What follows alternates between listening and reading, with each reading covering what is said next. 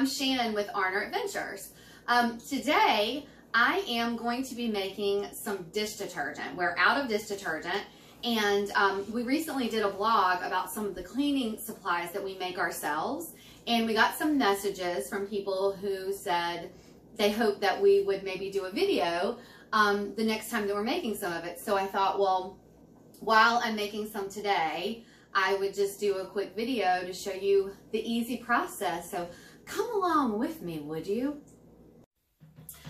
So, um, if you have been a follower of ours, you know that we do not um, use our dishwasher. We actually hand wash our dishes. There's a whole reason for that. You can go to the blog. Um, we love washing, hand washing our dishes. Um, so this, this recipe is actually for hand washing your dishes. Um, I don't even know what would happen if you put it in your dishwasher, so we're not recommending that. So um, some of the things that you're gonna need are um, either distilled water, if you have that. We don't, so we're gonna boil our water. Um, the reason for that is you want the water to be as crisp, clean as possible. If you just get water out of the faucet, especially here on the coast, our water, well, there's a whole other thing for that. But anyway, um, if you start your out your water not being as crisp and clean as possible, you're already starting out with bacteria in it. So you don't want to start any cleaning products out not as, as fresh as it can be. So if you boil it or have distilled water, you're starting out with a clean slate. So we're gonna boil, uh, boil our water first. Um, so we're gonna boil two and a half cups, but that's what you're gonna need. And then you're gonna need um, Castile soap. We use Dr. Bronner's as pure Castile soap. Um, you're gonna need uh, vegetable glycerin. Um, and then you're gonna also need, my box is cut because it's just easier for me to get inside of it, um, washing soda. We use the Arm & Hammer.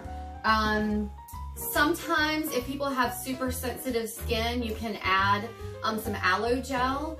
Sometimes in the winter, I'll crack just um, our aloe plant and just add the natural aloe into it. We're not gonna use that today. Um, but this is, this is all of the supplies you need. And then I highly recommend wine along the way. So the first thing you're gonna do is just go ahead and get two and a half cups in your pot and start boiling it. So we have the boiled water. I'm just gonna go ahead and put it in this bowl.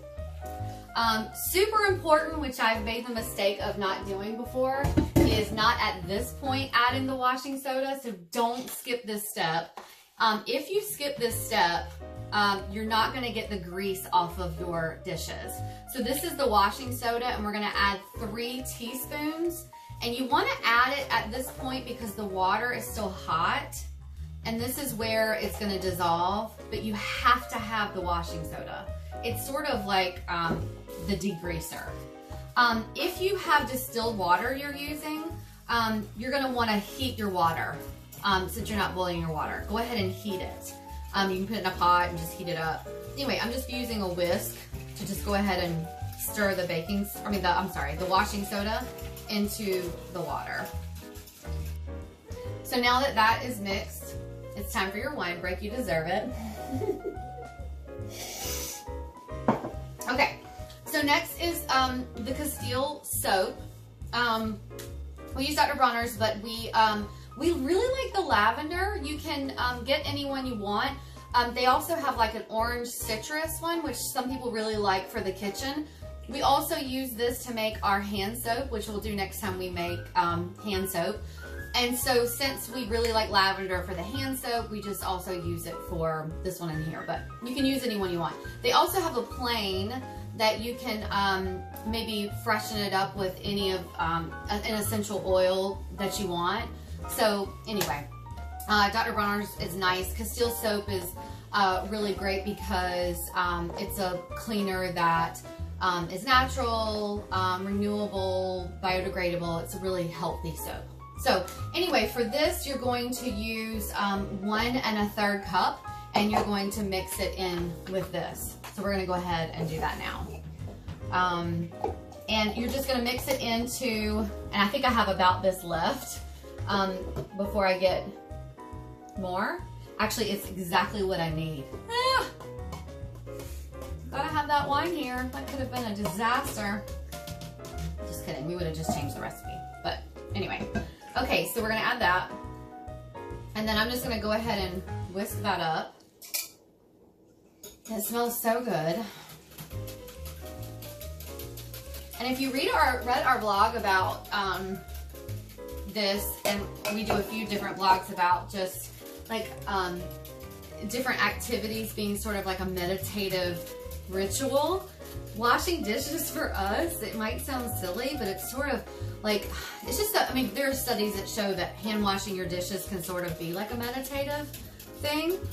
And having the lavender just makes it where it's even more like that, I guess.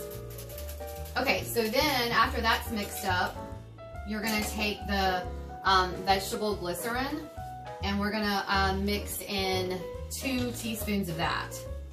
And it's sort of like a thickener in a way. Um, just gonna have that mixed in. And you can get this um, at any like health food store. Um, you can probably order it. I think I got this before we canceled our Amazon Prime this year. I think I got this on Amazon. Um, it's a organic pharmacy grade of it. And this la will last forever if you're making any kind of cleaners because it, you never have to have a lot of it. So anyway, we're gonna go ahead and mix this up. And this is, this is really it. Um, if you're, if this is the first time you're ever making your own cleaners, it, it does take some getting used to. Um, I learned from Oprah back in the day. For those of you who are old enough to have watched Oprah um, when she had her own show, um, cleaners and like toothpaste and just different things like that that have all these bubbles that accumulate, detergent, all that.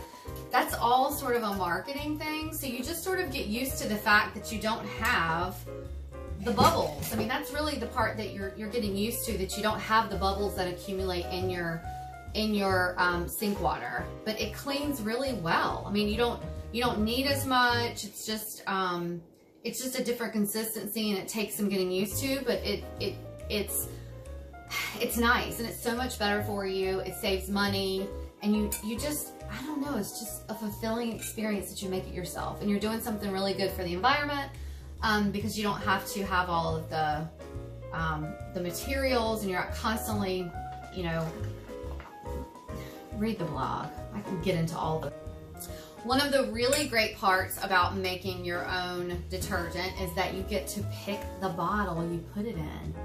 So um, you're of course saving plastic. And for those of you who may be thinking about the fact that you may have thought I was using plastic for this, Dr. Bronner's bottles are actually um, made of um, vegetable like byproducts. They're biodegradable.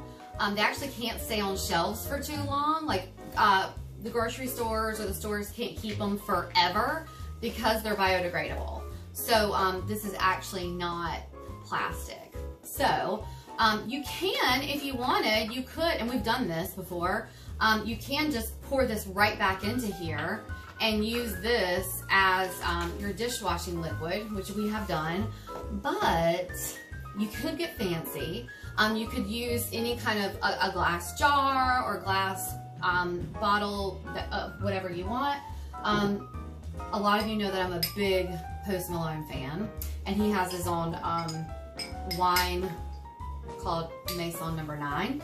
The bottles are really pretty. So I like to use this glass bottle that has the nice top to it and put our dishwashing detergent in that. And then we just use it, but it's so pretty. It sits on the counter and I get to pour it in that. So I'll show you that too. So we've transferred it over. It's in my pretty bottle. I'm gonna go ahead and put the top on so it can sit out here. Um, this will probably last us, I don't know, maybe three weeks or so, something like that. Um, people ask us about how much do we use per sink load, I guess. Um, I don't know, probably, I don't know, Jer, maybe a couple tablespoons or something. I don't know, something like that. But Um, you just kind of guesstimate it, but I, again, don't forget that washing soda. That is big importance. Of course, use hot water. It's a it's a consistency thing. You're just gonna find that um, you know it's it's just it just takes some getting used to, but it still cleans dishes really well. Um, and I think you're gonna be really happy with the fact that you made your own uh, dishwashing detergent. But um, stay tuned. We'll do more videos as we need more product of different things. And um, if you're trying some of the um, some of the recipes, let us know how it's going. And uh, cheers to you guys, and cheers to us, dear. We did it. Yes, we did. Good luck, everybody. Let us know how it's going. Bye.